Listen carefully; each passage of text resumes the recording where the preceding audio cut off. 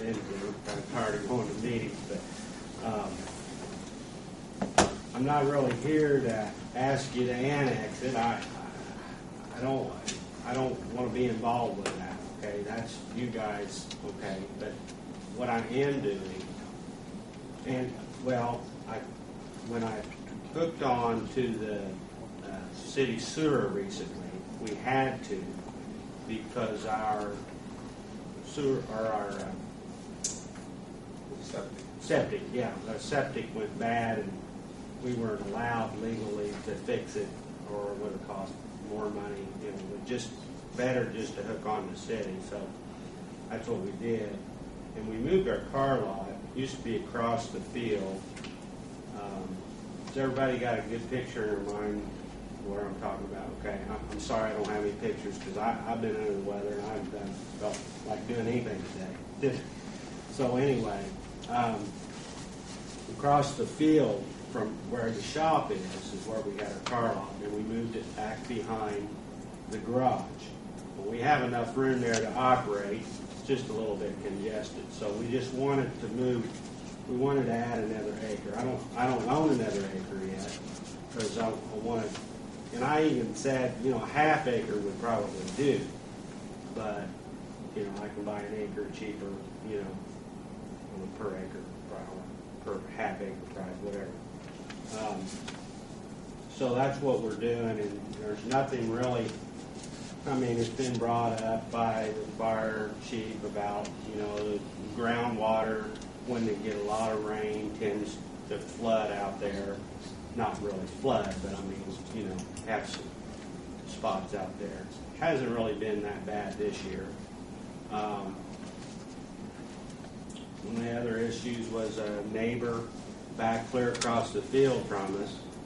Was- I don't see how it's gonna affect her. She's worried about all the lights and everything. I'm not gonna be putting no big lights out or anything like that. Um, We're still, you know, small business, you know, trying to, we've been in business since '07 on the car lot, so, um, it's, it's done real well. Since we moved it back behind the garage, we've increased our business by about fifty percent. And we did have some, uh, people, you know, reporting, you know, wow, looks like a junkyard or, or some junk cars sitting around. We've got that improved where it doesn't look like it's a junkyard anymore, so, um, you know, I certainly appreciate having it look nice because we're right in the, in the middle of the city, even though we're in the county, so.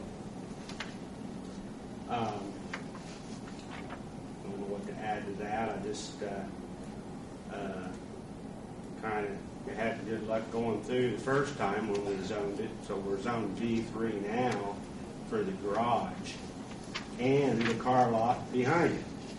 So we're, we're legal as we stand. I just need a little bit more room to, were just gonna extend down along the fence, uh, and it's a little bit higher there as well, so I don't feel that, you there's gonna be too much problem with water standing. Eventually, we will be paving it as well, so.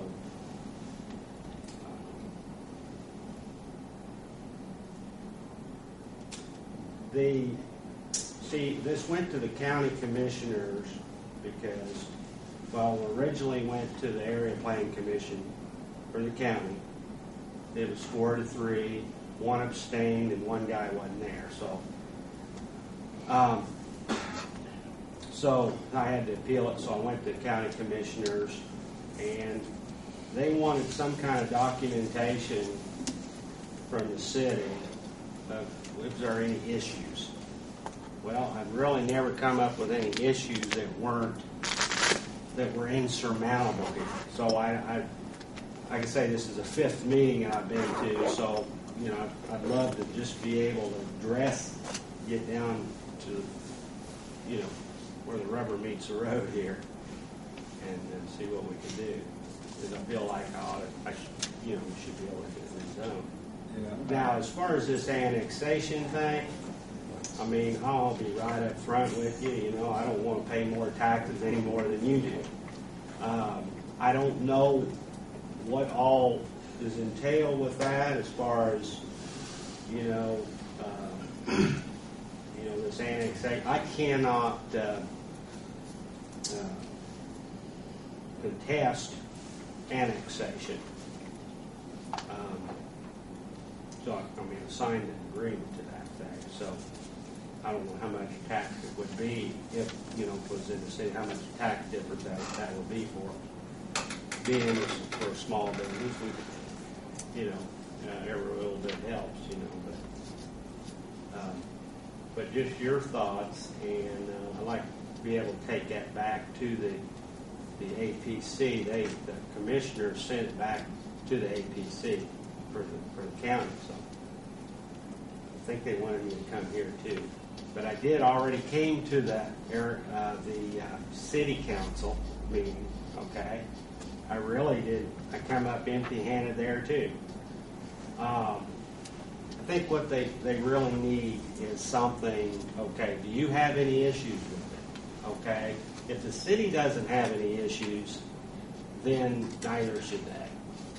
And, and what exactly are you trying to get done, Richard? Just get it all rezoned? We just want to get a little bit more property rezoned.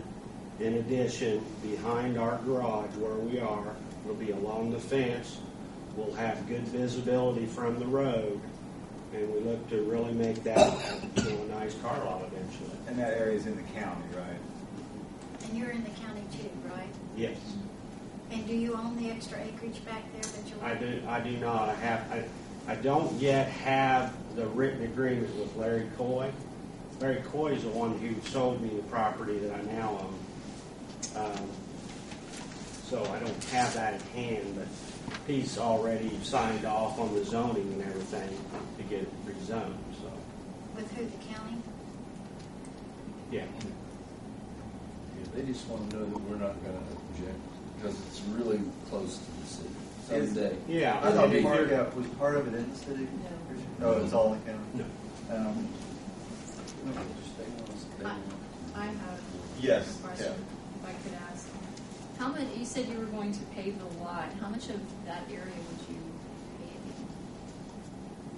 Well, we, eventually we'll pave it all.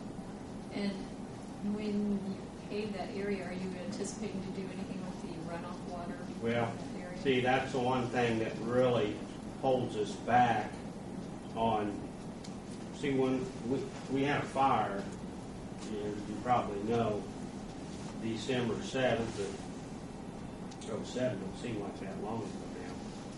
But I, at that time, I had, I spent twenty-six hundred dollars.